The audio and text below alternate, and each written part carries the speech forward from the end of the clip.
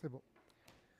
Du coup, on va, euh, je vais vous parler un peu plus en détail euh, de la fonctionnalité. Enfin, on va rentrer vraiment dans ce qu'est un DSL au sens euh, pipeline et comment est-ce qu'on va pouvoir l'utiliser pour vraiment gérer son delivery et même jusqu'à son deployment.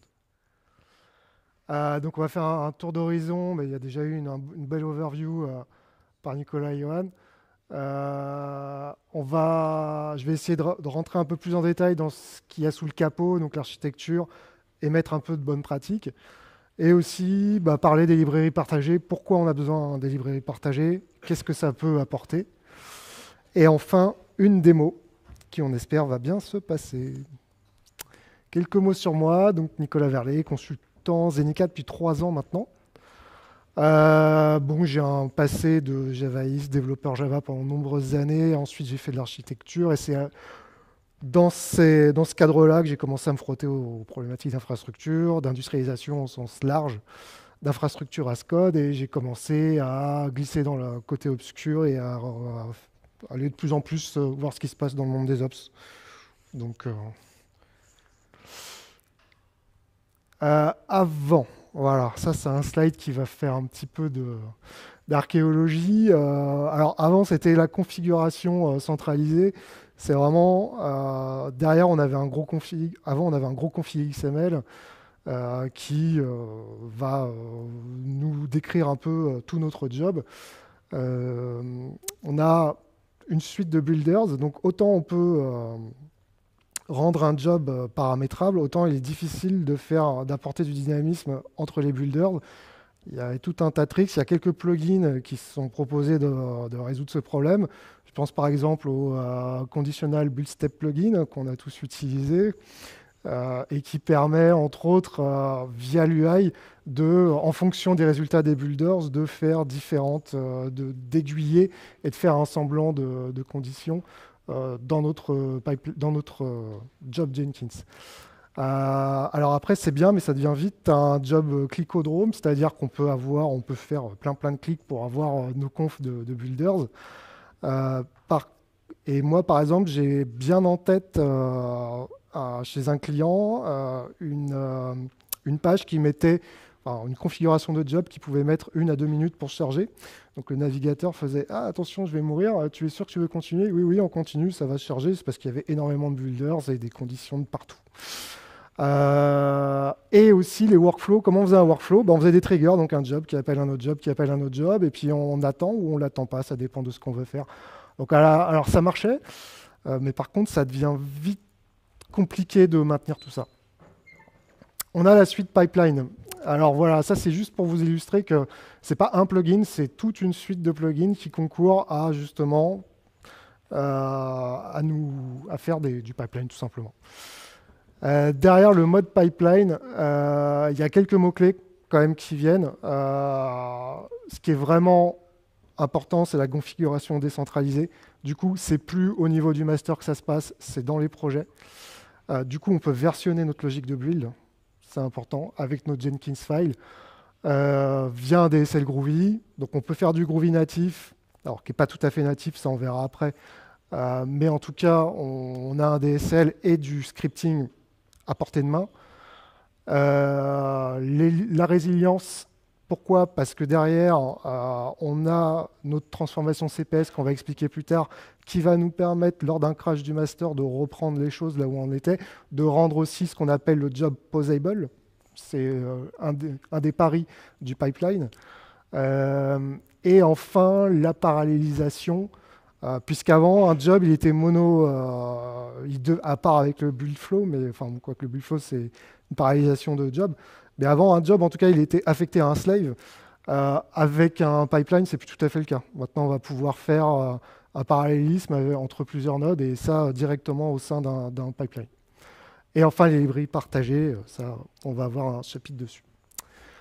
donc le DSL pour s'organiser, alors là on voit plein de mots-clés avec nos points d'entrée DSL qui sont proposés par le pipeline. On a le SH euh, pour faire du shell, euh, checkout, stage, euh, with credentials pour injecter des credentials, etc. Donc c'est souvent aussi des, plugins qu'on connaît et qui vont pouvoir être scriptables. Et vraiment un truc hyper important, en cas de doute sur la conf des jobs, on a toujours un petit reminder, un petit menu pipeline syntax qui va nous permettre de générer un script quand on ne sait pas comment on va pouvoir mettre en place nos, quand on va pouvoir scripter notre, notre utilisation de plugin, la pipeline syntax va nous, va nous produire en fait ça. Euh, on va passer sur le côté architecture. Euh, la transformation CPS. Alors ce qui se passe avec un pipeline, c'est que euh, c'est du Groovy, ça ressemble à du Groovy, mais ce n'est pas tout à fait du Groovy. c'est parce que derrière, on a une transformation qui est faite à la compilation. Il faut savoir qu'en Groovy, en fait, on a neuf phases de compilation. Et le pipeline, lui, arrive de mémoire à la canonicalization, qui, est une, qui, est une, phase qui est juste avant la génération du bytecode. Euh, et Groovy nous permet en fait de créer ce qu'on appelle les euh, custom compilizers, je crois, euh, qui sont en fait des hooks où on va pouvoir transformer l'arbre RST. Euh, et derrière, c'est ce que le pipeline, avec une librairie maintenue par Kosuki, qui s'appelle Groovy CPS, va se proposer de faire. Il va transformer le, le, code Groovy pour faire une continuation. Alors voilà à quoi ça ressemble. On a l'exemple de la factorielle, bon, qu'il ne faut, pas la, pas mettre telle qu'elle parce qu'elle risque de, de faire une petite boucle, celle-là. Euh, mais derrière, on, a, euh, on voit comment la transformation se passe. Et on voit qu'on arrive quand même à des choses un peu euh, qui se rapprochent de la prog fonctionnelle. De toute façon, c'est un paradigme un peu qui est issu de la prog fonctionnelle, avec une continuation. Donc, ce qu'on veut, c'est que à chaque, plutôt que d'avoir des retours, euh, on veut à chaque fois passer euh, l'étape suivante en paramètres euh, de nos fonctions. Voilà, je ne vais pas trop m'attarder dessus, mais voilà. ça, il faut l'avoir en tête. Ça, c'est un slide aussi important puisque ça met l'accent sur qu'est-ce qui se passe aussi quand on exécute un pipeline. Il faut savoir que tout le code Groovy il est exécuté sur le master.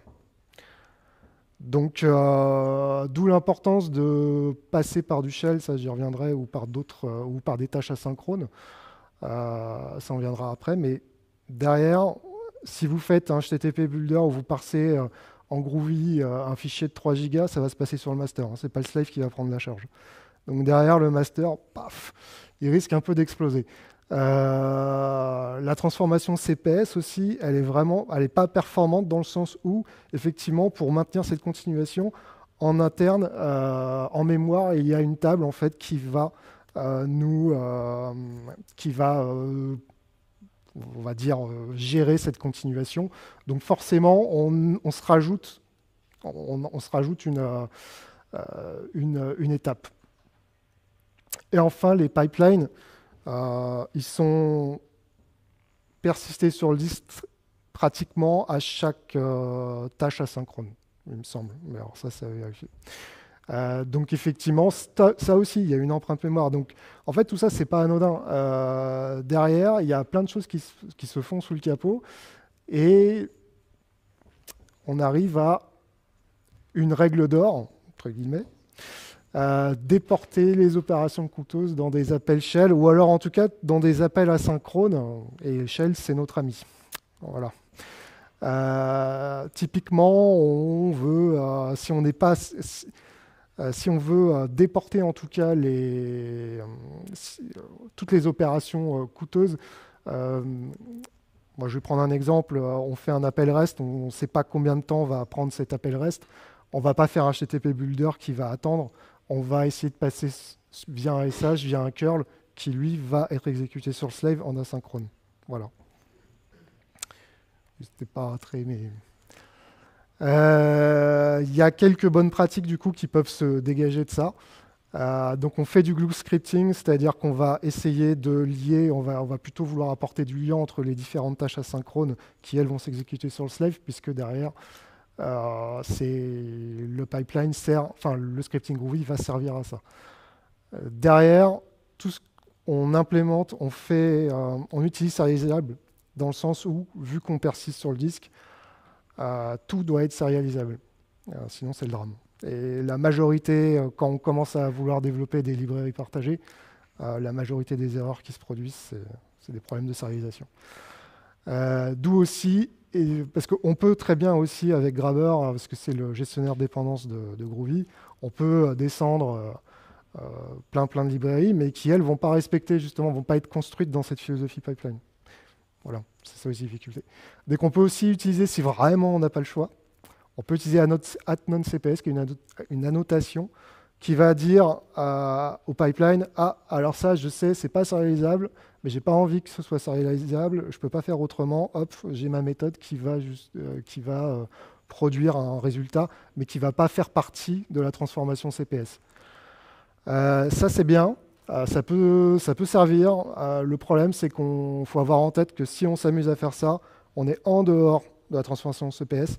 Donc si on a un crash du master, on reprend, ce ne sera pas pris en compte. C'est-à-dire que euh, si on a un enjeu business dans une méthode qui est annotée non CPS, ça ne va, va pas survivre à un crash de restart et on ne sera pas dans cette logique.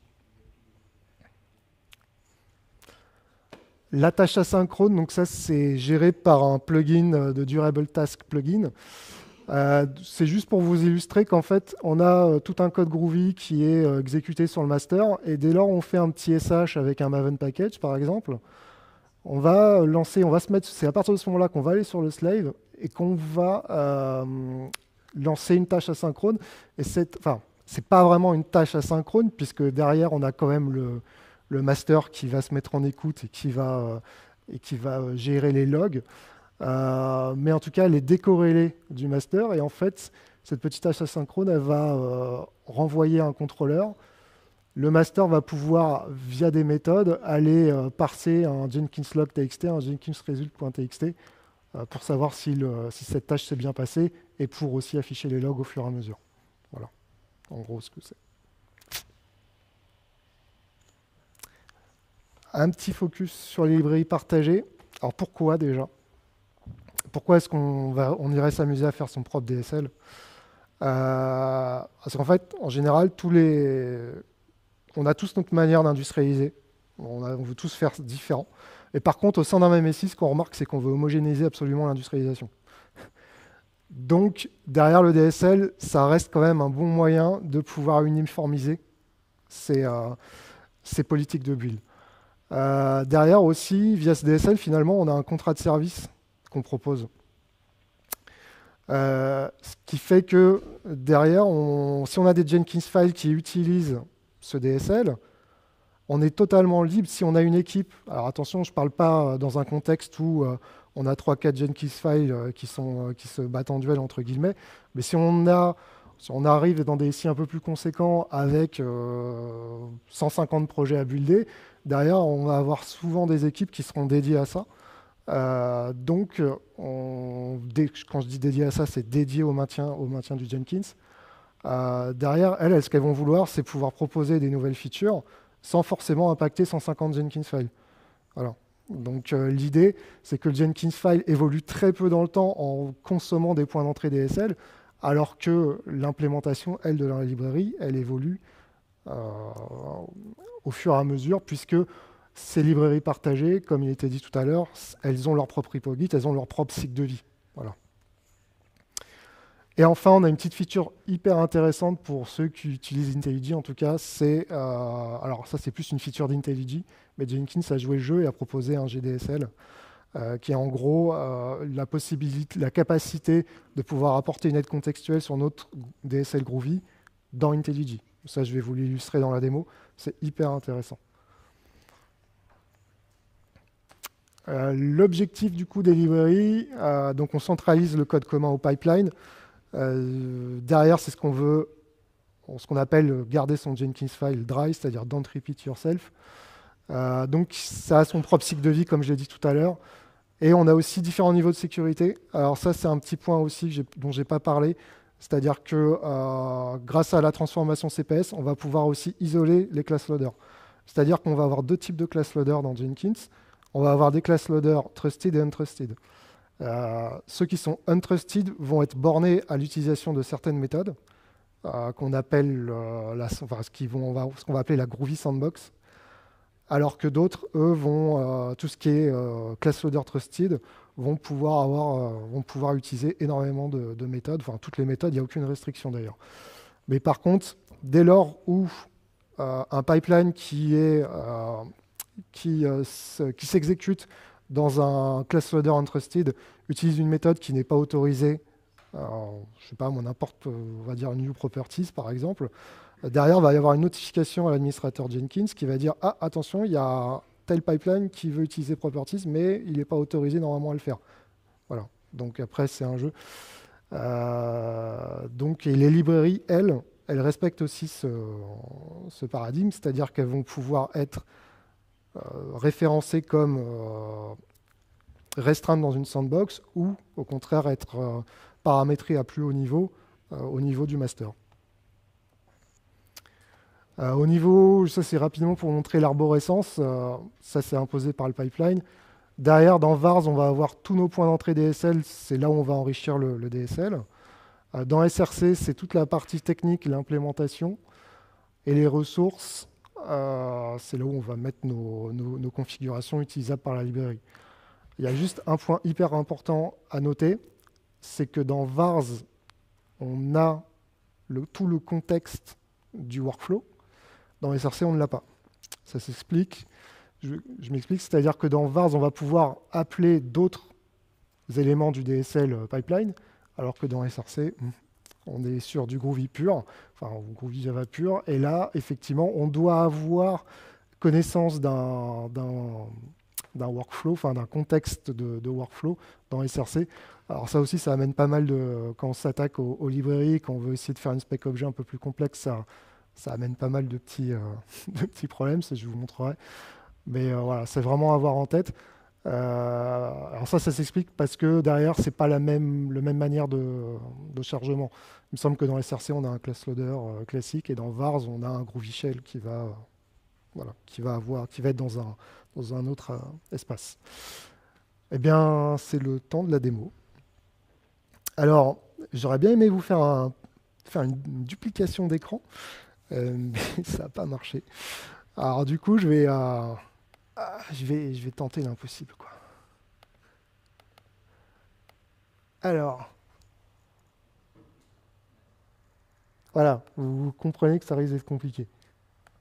Pioup Alors, le but du jeu, euh, de cette démo, ça va être de... Euh, on va avoir deux projets, enfin un projet Java, tout basique, que je vais vous montrer.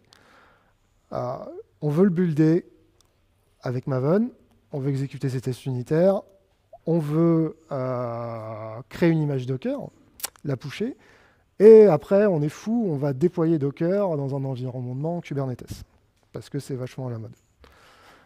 Euh, du coup, dans mon environnement Kubernetes, qui est un minikube, derrière, euh, j'ai déployé Traffic en guise d'ingress controller.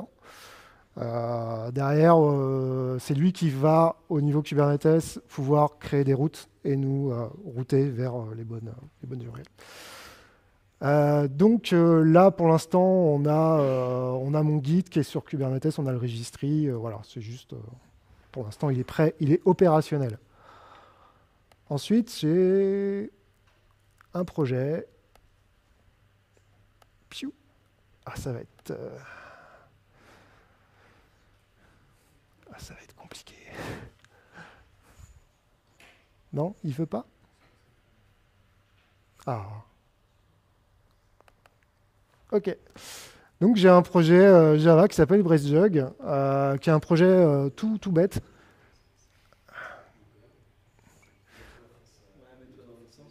Ouais, je crois que je vais me mettre dans l'autre sens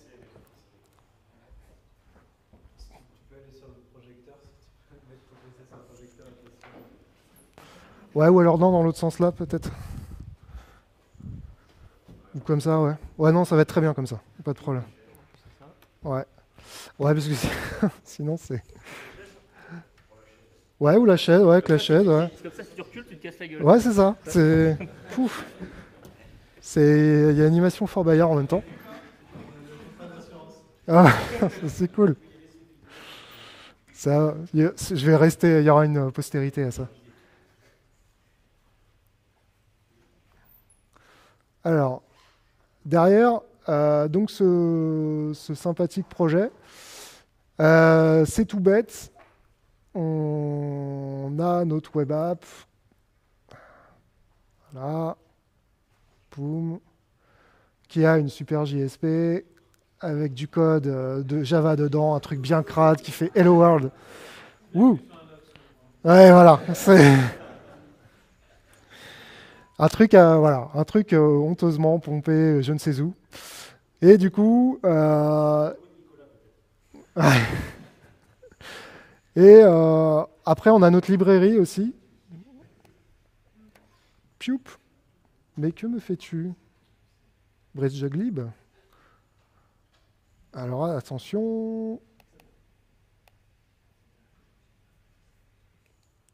Allez, viens là. Voilà. Allez, allez, hop. Voilà. Et on a notre librairie euh, pipeline. Alors, derrière, on a un assembly qui va faire juste une chose. Elle, va packager euh, les GDSL qui vont, être, qui vont être utiles pour les projets. Je vais vous montrer. On va juste faire un point du coup. Alors, ce qu'on appelait les GDSL, donc ça, c'est euh, Jenkins, c'est au niveau pipeline, euh, c'est le GDSL officiel. Hein. et euh, au niveau IntelliJ, lui, il va comprendre en fait qu'on a build, echo, etc. Donc, on a vraiment voilà, tous les points d'entrée DSL qui sont disponibles et qui sont plugués entre guillemets à notre éditeur. Et j'ai créé aussi celui bah, du, du Jug. Que me fais-tu, toi? Je vais oui, voilà. Boum. Et donc, euh, bah là, voilà, on, a le même building, deploying. Enfin, ça, vous verrez en temps et en heure ce que ça va faire. On a ensuite SRC et VARS. Donc, on retrouve nos deux, euh, notre arborescence. Dans VARS, du coup, bah, c'est tous mes points d'entrée. Alors, on va vouloir euh, builder, déployer. je vais, on va voir builder, déployer, etc. Si on prend building, par exemple, derrière, euh, c'est la signature, en gros, euh, d'une ce qu'on appelle euh, au niveau Jenkins du user defined variable. Et du coup, on va vouloir... Alors, on est libre de la signature, il faut juste qu'il y ait une méthode call, en fait. De là, on va faire un set du contexte. C'est là où on va, dire, on va, on va y aller. Allô? Non, bon, on n'y va pas. Euh, c'est pas grave. C'est là où on va définir le, contexte du workflow sur tout ce qui est SRC, donc sur toute la partie technique.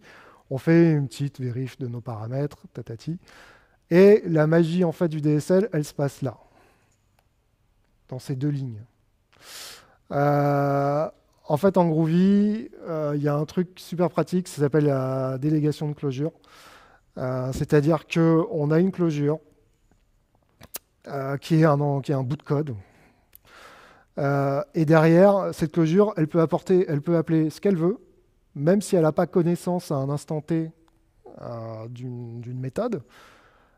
si quelque part, quand on l'exécute, on lui dit Ah, mais ton contexte de résolution, euh, c'est pas forcément euh, au sein de ta closure, mais c'est un, un, endroit bien précis, donc this, l'objet courant, alors tout va être résolu. Et typiquement, dans building, j'ai implémenté une méthode Java.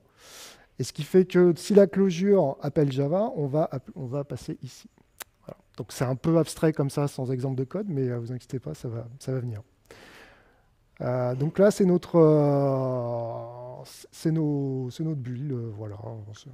Et au niveau SRC, donc on a build, deploy et on a toutes nos implémentations techniques. C'est là où on peut se faire plaisir et on peut faire une jolie spec objet. derrière, on a une build stratégie où j'ai dit bon bah qu'est-ce qu'on veut? On veut builder, on veut créer une image et puis on a d'autres petits trucs sympas on veut, avoir, euh, on veut savoir vers où on déploie, donc quels sont les nodes? Un node, c'est comme un agent, en fait, au sens déclaratif. Un node, c'est un slave, en gros. Sur quel slave on veut déployer, et puis euh, quel est ton type de projet? Bon, alors là, moi, j'ai juste fait une Java build stratégie. Hein. Euh, derrière, en gros, on a notre, notre build qui va dire faire un SH avec Maven Package. derrière, on a créé une image avec Docker Build, donc qui est le le plugin euh, CloudBees Docker, et on dit on va aller sur master. hop. Ça, c'est pour euh, la librairie. Maintenant, on va peut-être rentrer plus dans le concret. Et ce que je vous propose, c'est de créer notre pipeline en direct live. Donc, s'il veut bien, new, on va, créer un petit fichier qui s'appelle pipeline.groovy, par exemple. Pouf, yes. Dans pipeline.groovy, la première chose à faire, c'est d'importer cette librairie. Comment ça se passe? Ça se passe simplement comme ça, à la Grabber, puisque c'est du Groovy. Euh, on va appeler, par exemple, je crois que je l'ai appelé BraceJuglib. Euh, en camel case, bah oui, of course.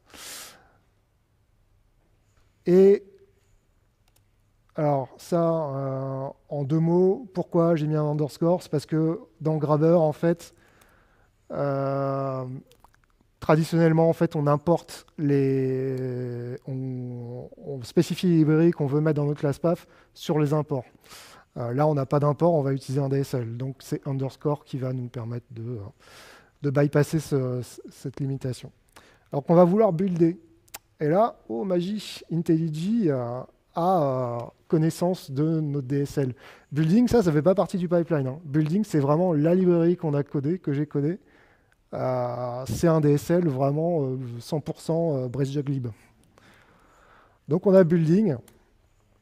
Derrière, moi, je veux builder du Java. Ah bah ouais, je peux. Ensuite, je vais créer une image. Alors, create image avec des arguments. Donc, je vais vouloir la taguer. Ah, mais j'ai oublié de faire quelque chose d'important, c'est quand même... Euh, derrière, il faut que je, donne, faut que je définisse des petites variables. Donc, on peut le faire totalement puisqu'on est en Groovy. Quel est le nom de mon application? Eh ben, C'est euh, BraceJug. Sur, euh, euh, sur quel port on va déployer? Bah, 80-80 par exemple. Et enfin, bah, quelle image, quel est le nom de l'image? Et là, il faut que je m'en souvienne. on est sur du Kubernetes. Euh, poum.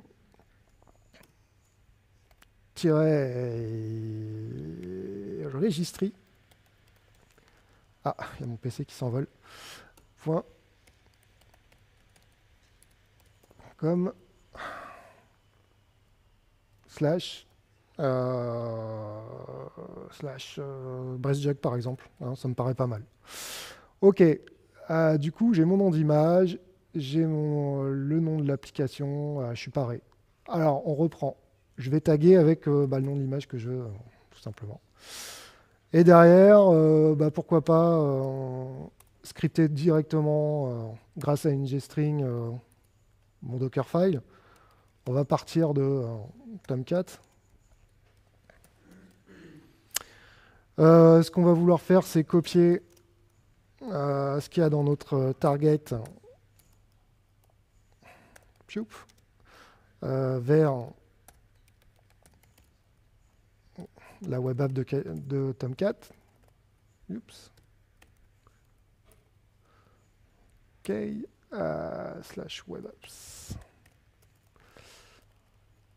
Désolé. On va l'appeler. Euh,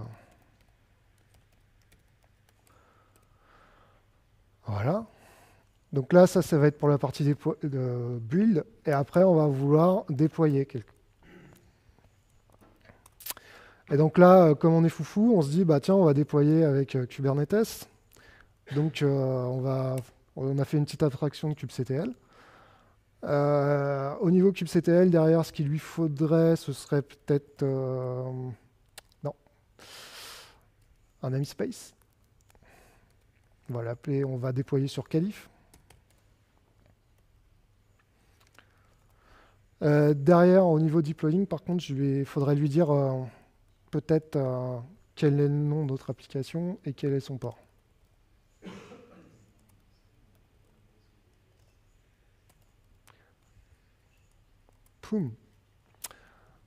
Ok. Un truc aussi important qu'on aimerait bien faire, c'est pouvoir valider manuellement que tout s'est bien passé. Euh, du coup, euh, on a euh, une validation manuelle, on va lui dire true, ce qui va nous permettre de aussi vous, ça me permet de vous montrer l'input validation qu'on a parlé tout à l'heure. Et on a donc un ingress. Allez, c'est parti, on fait du vrai Kubernetes. L'ingress où on va dire bah, je veux que ma application elle soit joignable sur calif.brazejug.com. Ouais. Euh, ensuite, derrière, on va définir un service. Dans ce service, on va vouloir définir un déploiement.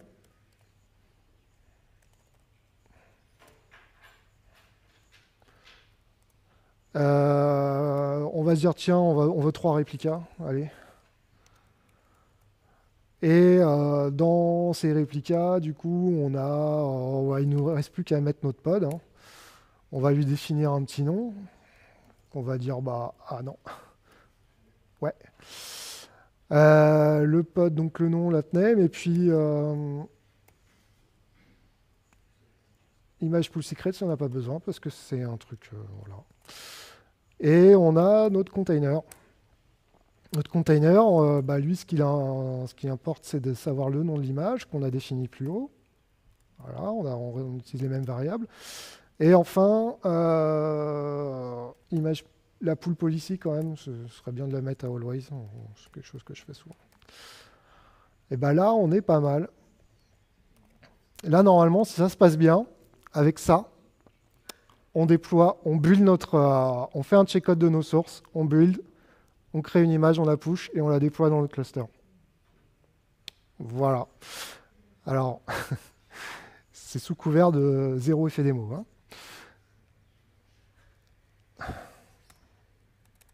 Alors je vais euh, là, vous le verrez, vous le voyez pas, mais. Poum.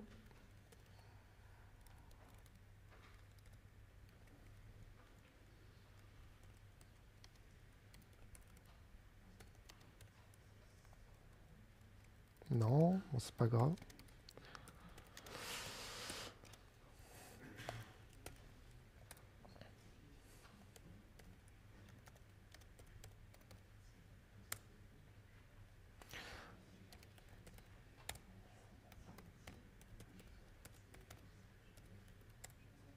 OK. Donc j'ai commité. On va pouvoir aller voir notre Jenkins.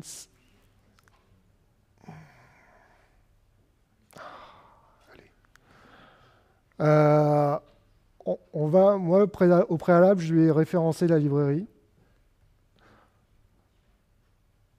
Donc une librairie partagée qui, est, qui a tous les droits, puisqu'elle est référencée au niveau du master qu'on appelle Global Pipeline Library. Je l'ai appelé BreastJugLib. Je lui ai dit euh, qu'elle va par défaut côté la branche master. Euh, et je lui ai dit où la chercher? Donc euh, j'ai mon repo Kubernetes Give, voilà, avec les credentials, etc. Voilà, ça c'est juste pour vous montrer. j'ai mon, mon job BreastJug avec, où j'ai déjà euh, testé, hein. normalement ça doit marcher. Et donc, euh, on va builder Java, on va se lancer, on va voir, allez.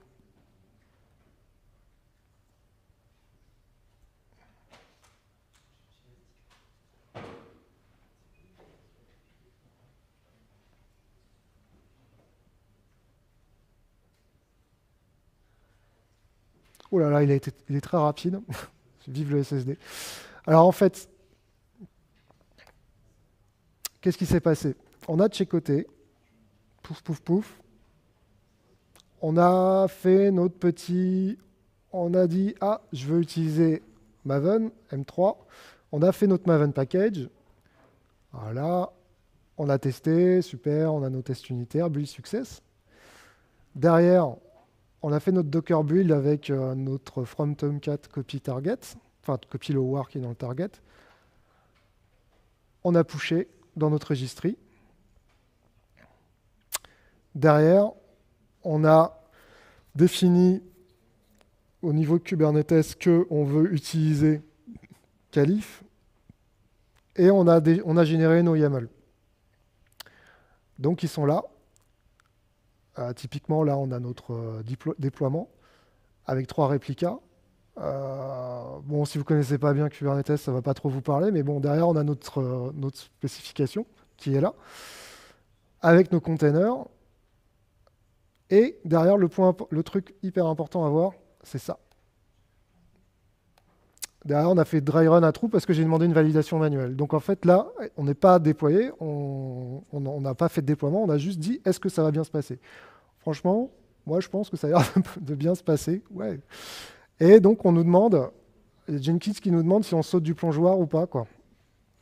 Euh, je pense que là on peut y aller, on est confiant, on y va. Allez, pim, success, et là, vite, ah non, ah, trafic. Voilà, là on a nos trois instances qui sont là, qui sont pluguées sur Calif Breastjug.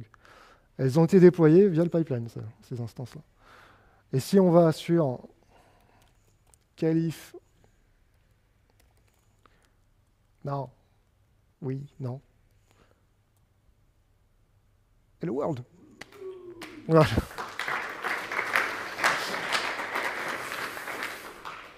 Donc voilà.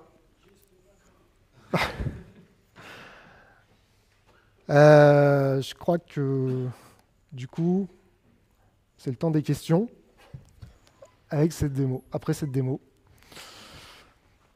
si vous en avez. Oui ah, non, oui.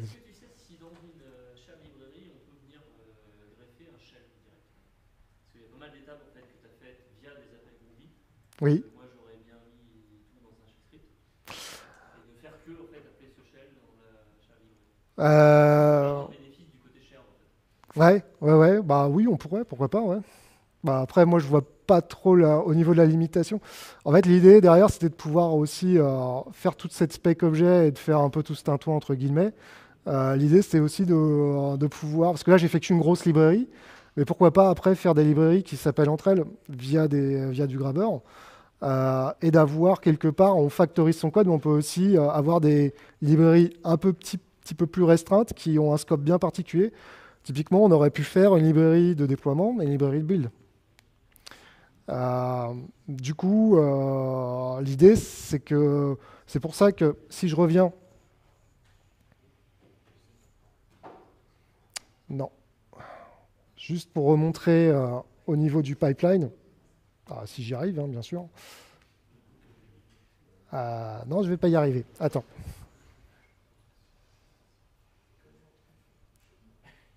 Non. Si, non, oui.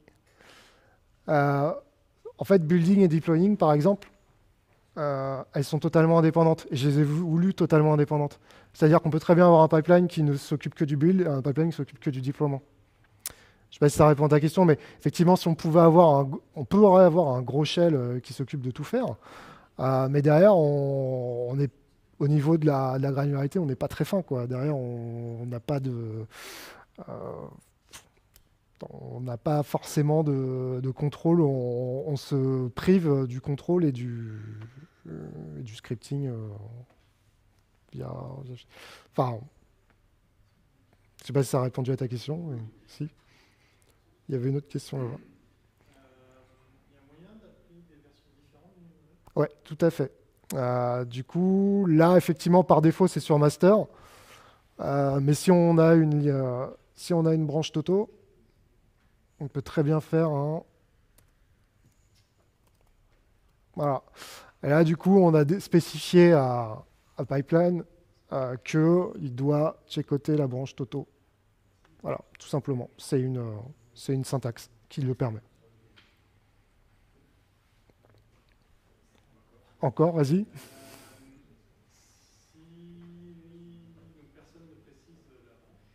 Oui.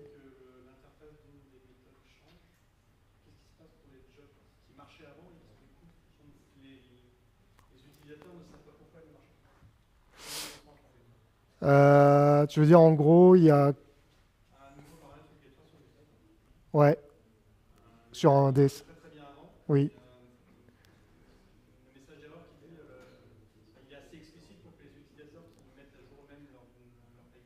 Ouais. Sache que, euh, la, enfin, pour savoir que la, la, librairie est mise à jour, oui. qu'ils doivent faire une évolution de leur pipeline. Ouais, euh, du coup, ça, effectivement, tous ces problèmes de rétrocompatibilité, ça restera à gérer. Voilà. Derrière, on- ouais, mais ça, ça peut être remonté. euh, alors, soit il y a une équipe. alors, après, ça dépend du contexte. hein. Si par exemple, on est sur une équipe euh, transverse dédiée qui va communiquer énormément sur les évolutions et publier des release notes sur un confluence d'entreprise, par exemple, voilà, là, il y a, un niveau d'information qui est, euh, peut, c'est un canal d'information qui dit que voilà, maintenant sur telle branche, on a mergé, on est sur master, on a décidé, euh, on a suffisamment testé cette feature, on a décidé de l'implémenter. Et effectivement, soit après, on est des bourrins et on se dit on va péter une rétrocompatibilité, à ce moment-là, il faut l'informer. Euh, soit effectivement, euh, on veut gérer le plus possible cette, rétrocompatibilité, euh, mais du coup, on va, se limiter euh, dans, dans les évolutions. Euh, ça, c'est juste un exemple d'information.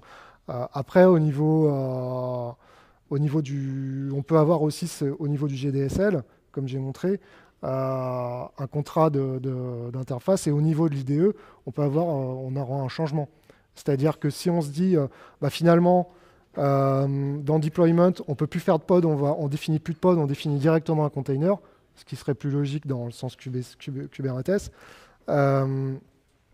Au niveau du GDSL, on va enlever euh, le GDSL juste pour avoir une info. hein. Euh,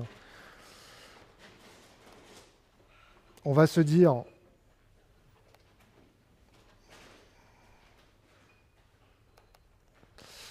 euh, dans mon deployment, je vais enlever ça, pod, je vais remonter container, je vais publier, et du coup le projet, lui, va récupérer cette nouveau, ce nouveau euh, descripteur GDSL, et il va dire, ah ouais, mais il va avoir une erreur dans son IDE qui va dire, ah attention, c'est plus autorisé ça. Tu vois? Ça c'est- aussi un autre moyen de communiquer là-dessus. quoi. Euh, Oui, non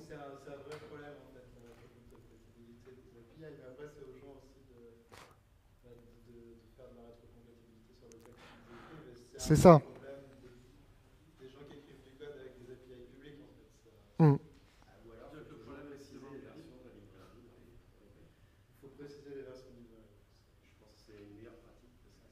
Ouais.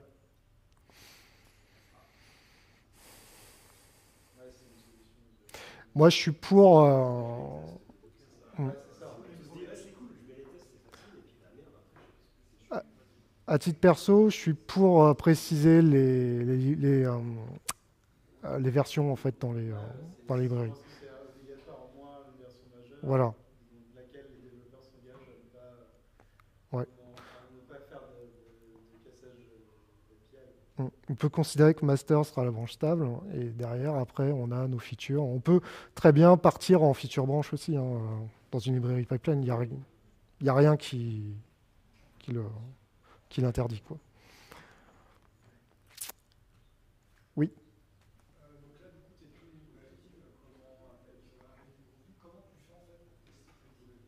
Putain, je la redoutais cette question. Euh, ouais, question suivante. Alors, il y a... Non, mais c'est hyper, hyper important comme point. Euh, Alors, il y a beaucoup de push. non, mais effectivement, euh, ce qui se passe, c'est que euh, il n'y a rien d'officiel pour l'instant. Ah, il me semble que, je sais pas, chez CloudBees, il y a, euh, je, crois que j'ai vu Jesse Glick qui, qui parlait qu'il allait, qu'il travaillait sur un framework de test pour les pipelines. Oui, alors ça, il y a, les furets. Ouais. Moi, je suis pas très, à titre perso, je, alors, oui. Mm. Il y a ça. Alors, il y a des, euh, initiatives comme euh, les Furets qu'on fait, qui eux, en fait, se proposent de vérifier la stack d'appel et de faire des assertions sur la stack d'appel du pipeline. Bon, c'est pas mal, hein, mais ça permet au moins, ça permet au moins de, résoudre ce problème de typage dynamique du, du Groovy.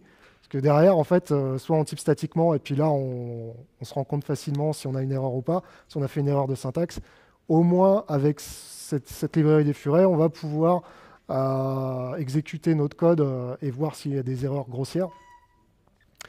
Après, euh, a, il me semble effectivement qu'il y a Jesse Glick, un des, personnes qui s'occupent le plus du pipeline, qui avait dit qu'apparemment il y aurait peut-être, là j'ai pas trop trop d'infos dessus, enfin, c'est vraiment un titre, c'est à vérifier, mais qu'il plancherait sur une solution de pouvoir émuler quelque part suffisamment, enfin les, les, composants Jenkins pour pouvoir justement à la manière du HPI pour ceux qui font des, plugins Jenkins. Derrière, on a un plugin Maven HPI qui permet d'émuler un Jenkins. Bah, on aura un peu la même, chose au niveau pipeline. On émulerait un Jenkins qui, nous permettrait de tester du pipeline.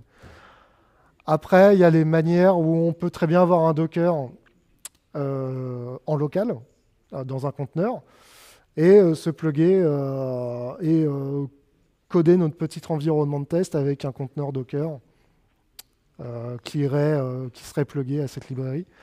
je sais que quand, du temps où quand j'étais pas jeune, il y a des collègues qui l'ont fait. Ça a de, ça marche plutôt pas mal. Mais du coup, c'est un effort aussi de maintien. Donc,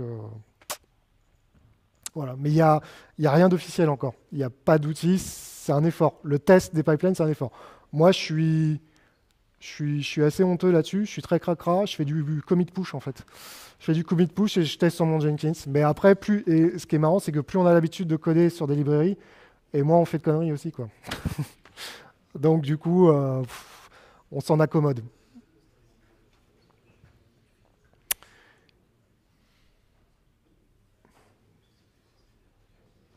Voilà. Bah, si vous. Si? Oui? Alors, pour faire cette librairie-là, euh, deux semaines. Par contre, j'ai l'habitude. Euh, ça aurait été avec euh, sans connaissance, on va plutôt dire un bon mois, quoi. Un mois, un mois et demi, hein, je pense. Après, c'est rapide. Enfin, quand quand on a l'habitude, après, quand on prend l'habitude, c'est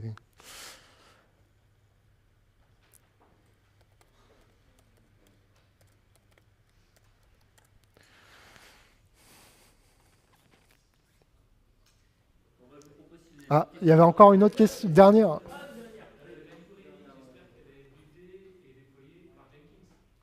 Ah oui, tout à fait, ouais. Ouais, ouais. Il y a. Non, j'ai un GitLab CI en fait.